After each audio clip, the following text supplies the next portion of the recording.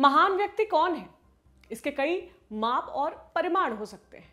लेकिन एक चीज़ जो प्रामाणिक रूप से कही जा सकती है, वो ये देखना है कि अमुक व्यक्ति का उसके आसपास के लोगों पर क्या प्रभाव पड़ा। नमस्कार, मेरा नाम प्रतीक्षा है और आप देख रहे हैं तारीख, जिसमें हम सुनाते हैं उस तारीख से जुड़ी हुई भारत की ऐतिहासिक कहानियाँ। आज 12 जनवरी है और आज की तारीख का संबंध है स्वामी विवेकानंद से।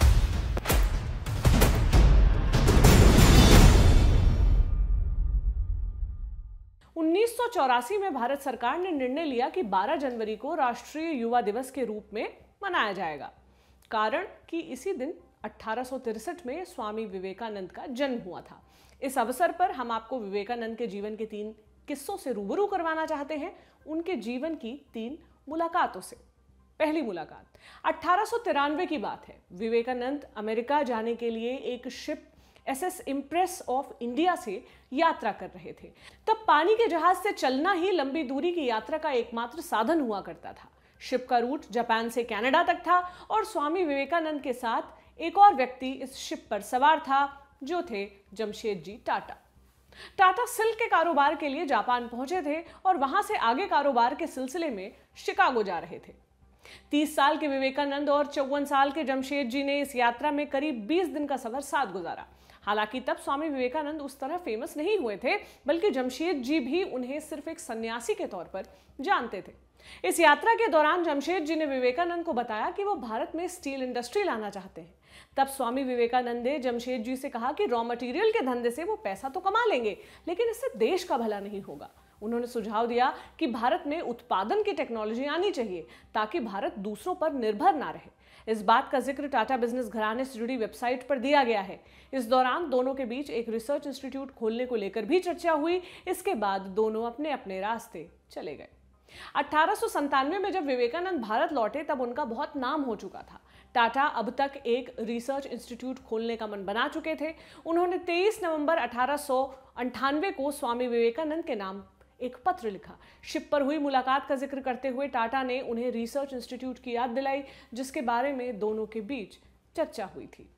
टाटा ने इस मामले में उनका समर्थन किया और उनसे निवेदन किया कि वो युवाओं को इस मुहिम में जोड़ने के लिए एक पैम्फलेट छापे, जिसका पूरा खर्च टाटा उठाएँगे। विवेकानंद इन दिनों रामकृष्ण मिशन के काम में बिज़ी थे, इसलिए पैम्फलेट तो नहीं छप पाया, लेकिन उन्होंने अपनी शिष्या सिस्टर निवेदिता को जमशेद जी से मिलने भेजा। और रामकृष्ण मिशन मिशन के अंग्रेज़ी अखबार प्रबुद्ध भारत के ज़रिए इस इंस्टीट्यूट के लिए समर्थन इकट्ठा किया। सिस्टर निवेदिता और जमशेद जी ने मिलकर एक रिसर्च इंस्टीट्यूट का खाका तैयार किया। टाटा ने पूरे 30 लाख रुपए देने का ऐलान किया और सरकार के पास प्रस्ताव भेजा, लेकिन वॉइस रॉय लॉर्ड कर्जन ने इस प्लान को रद्द कर दिया।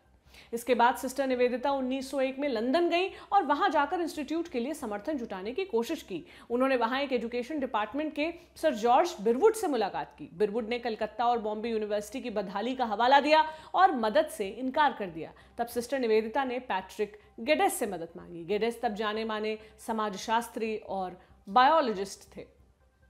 गेडेस खुद भी विवेकानंद से मिल चुके थे। दोनों की मुलाकात साल 1900 में पेरिस में हुई थी। गेडेस की एक आँख में कुछ दिक्कत थी, जिसके चलते वो हमेशा परेशान रहते थे। जब इस बारे में उन्होंने विवेकानंद को बताया तो विवेकानंद ने जवाब दिया, professor, be mind minded not I minded यानी, प्रोफेसर, दिमाग पर ध्यान दीजिए, आँख या अहम पर नहीं। केडेस विवेकानंद से बहुत प्रभावित थे, इसलिए सिस्टर निवेदिता के कहने पर उन्होंने रिसर्च इंस्टीट्यूट के लिए सरकार में पैरवी की। साल 1902 में स्वामी विवेकानंद की मृत्यु हो गई 1904 में जमशेद जी भी चल बसे। लेकिन इसके बाद भी सिस्टर निवेदिता रिसर्च इंस्टीट्यूट के लिए लगातार कोशिश करती रहीं। आखिरकार, साल 1907 में सरकार ने इस प्रस्ताव को हरी झंडी दी। सरकार चाहती थी कि इंस्टीट्यूट बॉम्बे में खुले, लेकिन टाटा ने अठारह में मैसूर में ज़मीन हासिल कर ली थी। मैसूर के महाराजा कृष्णा जी वाडियार इंस्टीट्यूट के लिए तीन सौ बहत्तर एकड़ ज़मीन देने को तैयार हो गए थे, जिसके बाद 1909 में Indian Institute of Science Bangalore अस्तित्व में आया। और आने वाले सालों में भारत का प्रीमियर शिक्षा संस्थान बना। दूसरी मुलाकात। 30 जुलाई अठारह को स्वामी विवेकानंद अमेरिका पहुँचे। वहाँ शिकागो में धर्म संसद का आयोजन होना था। अमेरिका प्रवास के दौरान एक फ्रेंच सिंगर एमा काल्वे उनकी शिष्या बनी। एमा काल्वे ने अपनी दोस्त को विवेकानंद और रॉकफेलर की मुलाकात का किस्सा सुनाया था। रॉकफेलर कौन? पहले ये जान लेते हैं। पूरा नाम जॉन डी रॉकफेलर, एक अमेरिकी बिजनेसमैन हुआ करते थे। कतई रईस, शायद आधुनिक इतिहास के सबसे ज़्यादा रईस व्यक्ति। रेफरेंस के लिए समझिए कि अमेरिका में तेल का धंधा शुरू करने वाले वो पहले व्यक्ति थे। उन्होंने स्टैंडर्ड ऑयल नाम की एक कंपनी बनाई, जो अमेरिका का 90 परसेंट ऑयल ट्रेड चलाती थी। बाद में स्टैंडर्ड ऑयल ही टूटकर एक्सॉन मोबिल और शेवरन जैसी बड़ी तेल कंपनियाँ बनी। 1937 में जब रॉकफेलर की मृत्यु हुई तब उनकी दौलत थी 140 करोड़ अमेरिकी डॉलर। तब अमेरिका की जीडीपी थी 9,200 बिलियन डॉलर। यानी रॉकफेलर की कुल कमाई अमेरिका की जीडीपी का लगभग डेढ़ प्रतिशत हुआ करती थी। रॉकफेलर और विवेकानंद की मुलाकात अप्रैल अठारह सौ चौरानवे में हुई। धर्म संसद में अपनी स्पीच के बाद विवेकानंद मशहूर हो चुके थे। जॉन रॉकफेलर तब मानसिक अवसाद से गुजर रहे थे। ऐसे में उनके दोस्तों ने उन्हें भारत से आए इस स्वामी से मिलने की सलाह दी। विवेकानंद अपने एक सहयोगी के यहाँ ठहरे हुए थे, जो रॉकफेलर का दोस्त हुआ करता था। एक दिन जब रॉकफेलर अपने दोस्त से मिलने पहुँचे तो पता चला विवेकानंद यही ठहरे हुए हैं। रॉकफेलर सीधे उनके कमरे में घुसे। तब रॉकफेलर की हैसियत ऐसी थी कि राष्ट्रपति भी उनको नजरअंदाज नहीं कर सकता था। विवेकानंद किताब पढ़ रहे थे। उन्होंने रॉकफेलर की तरफ़ ध्यान ही नहीं दिया। अंत में जब ध्यान दिया तो दोनों में बात शुरू हुई। विवेकानंद को एहसास हुआ कि रॉकफेलर अकूत धन संपत्ति के मालिक हैं, लेकिन फिर भी दुखी और निराश हैं। विवेकानंद ने उनसे कहा, तुम्हारे पास अगर इतना पैसा है तो क्या इसका मतलब है कि तुम दूसरों से ज़्यादा बुद्धिमान हो? हाँ बिल्कुल रॉकफेलर ने जवाब दिया। विवेकानंद ने तब उनसे कहा, तुम एक आम आदमी से दस गुना समझदार हो सकते हो, लेकिन तुम्हारी दौलत उससे हज़ार गुना है। साथ ही ये सुझाव देते हुए कहा, क्यों ना तुम इस पैसे का इस्तेमाल लोगों की मदद के लिए करो। रॉकफेलर को लगा, क्या बकवास कर रहा है ये आदमी? औरों को पैसे देने से मेरी क्या मदद होगी? रॉकफेलर उठे और चलते बने। एक हफ़्ता गुजरा रॉकफेलर ने दोबारा विवेकानंद से मिलने का निश्चय किया। कमरे में दाखिल होते ही उन्होंने विवेकानंद की टेबल में एक कागज़ का टुकड़ा रखा। उसमें वो रकम थी जो रॉकफेलर ने चैरिटी के लिए दान की थी। बोले, ये रहा। अब तो तुम संतुष्ट हो गए होगे। अब इसके लिए तुम मुझे धन्यवाद कह सकते हो।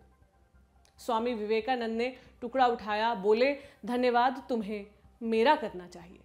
बाद में रॉकफेलर ने रॉकफेलर फाउंडेशन नाम की एक चैरिटी संस्था की स्थापना की और अमेरिका के सबसे बड़े फिलांथ्रोपिस्ट के तौर पर जाने गए। 1950 में रॉकफेलर फाउंडेशन की मदद से पुणे में वायरस रिसर्च लैब की स्थापना हुई और फाउंडेशन ने भारत में एग्रीकल्चर रिसर्च के लिए मदद देने का काम भी किया। ऐसा तो नहीं कहा जा सकता कि रॉकफेलर की चैरिटी का समस्त श्रेय स्वामी विवेकानंद को मिलता है, लेकिन इतना ज़रूर है कि विवेकानंद से मुलाकात का उनकी सोच पर गहरा असर पड़ा था। तीसरी मुलाकात। अट्ठारह में अमेरिका में एक नाटक मशहूर हुआ था। नाटक का नाम था जियल सैरा बर्नहार्ट नाम की एक एक्ट्रेस मुख्य भूमिका में थी और फ्रेंच भाषा के इस नाटक की विषय वस्तु थी बुद्ध का जीवन। नाटक में बुद्ध जब ध्यान में मग्न थे, तब इजियल नाम की एक लड़की बुद्ध को रिझाने की कोशिश करती है। फरवरी अठारह सौ छियानवे में स्वामी विवेकानंद इस नाटक को देखने पहुँचे। धर्म संसद में अपने भाषण से वो काफ़ी लोकप्रिय हो चुके थे। सैरा बॉनहार्ट ने दर्शक दीर्घा में स्वामी विवेकानंद को बैठे देखा, नाटक खत्म होने के बाद उन्हें मुलाकात के लिए बुलाया। इत्तेफाक ये कि इस दौरान मशहूर वैज्ञानिक और इनोवेटर निकोला टेस्ला भी वहाँ मौजूद थे। यहीं पर टेस्ला और स्वामी विवेकानंद की पहली मुलाकात हुई। उनतालीस साल के टेस्ला तब तक एसी मोटर का आविष्कार कर चुके थे और निकोला टेस्ला कंपनी भी खोल चुके थे। इत्तेफाक था कि इससे कुछ दिन पहले ही स्वामी विवेकानंद ने एक पत्र लिखा था, जिसमें उन्होंने टेस्ला का ज़िक्र किया था। विवेकानंद रचनावली, वॉल्यूम फाइव में इस पत्र का ज़िक्र है। विवेकानंद लिखते हैं, मिस्टर टेस्ला सोचते हैं कि वो मैथ्स की इक्वेशन से बल और पदार्थ का ऊर्जा में ट्रांसफॉर्मेशन साबित कर सकते हैं। मैं अगले हफ़्ते उनसे मिलकर उनका ये नया गणितीय प्रयोग देखना चाहता हूँ। इसी पत्र में वो आगे कहते हैं कि टेस्ला का ये प्रयोग वेदांत की साइंटिफिक रूट्स को साबित कर देगा, जिसके मुताबिक ये पूरा विश्व अनंत ऊर्जा का ही रूपांतरण है। दोनों के बीच ठीक ठीक क्या बात हुई, ये किसी जगह पर दर्ज नहीं है, लेकिन बाद में टेस्ला के लेखन और रिसर्च पर इस मुलाकात का प्रभाव दिखता है। 1907 में टेस्ला ने मैंस ग्रेटेस्ट अचीवमेंट शीर्षक के साथ एक लेख लिखा, इसमें उन्होंने आकाश और प्राण जैसे संस्कृत शब्दों का प्रयोग किया है। टेस्ला लिखते हैं, सभी पदार्थ मूल रूप से एक ही तत्व से निकले हैं और इस तत्व की कोई शुरुआत नहीं है। संपूर्ण आकाश में यही फैला हुआ है और ये तत्व जीवन देने वाले प्राण या रचनात्मक ऊर्जा से प्रभावित होता है। इसके अलावा अंतरराष्ट्रीय टेस्ला सोसाइटी के अध्यक्ष रहे टॉबी ग्रोथ्स एक, का एक आलेख है जिसमें ग्रोथ्स टेस्ला और विवेकानंद की मुलाकात का ज़िक्र करते हैं। हालाँकि टेस्ला पदार्थ और ऊर्जा के संबंध को स्थापित करने में कामयाब नहीं हो पाए थे, लेकिन वेदांत दर्शन के प्रभाव के चलते इस पर उनका पक्का भरोसा था। बाद में वैज्ञानिक एल्बर्ट आइंस्टाइन ने पदार्थ ऊर्जा संबंध समीकरण को साबित किया था। अठारह में भारत लौटकर स्वामी विवेकानंद के लेक्चर्स में भी टेस्ला का ज़िक्र मिलता है। एक जगह वो कहते हैं वर्तमान के कुछ सबसे बुद्धिमान वैज्ञानिकों ने वेदांत के विज्ञान सम्मत होने को स्वीकार किया है। इनमें से एक को मैं निजी तौर पर जानता हूँ। ये व्यक्ति दिन रात अपनी लैब में ही लगा रहता है। इसके पास खाने का वक्त भी नहीं है। लेकिन मेरे द्वारा दिए गए वेदांत के लेक्चर को अटेंड करने के लिए वो घंटों खड़ा रह सकता है। उसके अनुसार ये इतने विज्ञान सम्मत हैं कि विज्ञान आज जिन निष्कर्षों पर पहुँच रहा है, ये उनसे पूरी तरह मेल खाते हैं। स्वामी विवेकानंद को जानने के लिए उनके बारे में पढ़ा जाना ज़रूरी है, लेकिन उससे भी ज़्यादा ज़रूरी है कि हम उनके लिखे, उनके कहे को भी पढ़ें।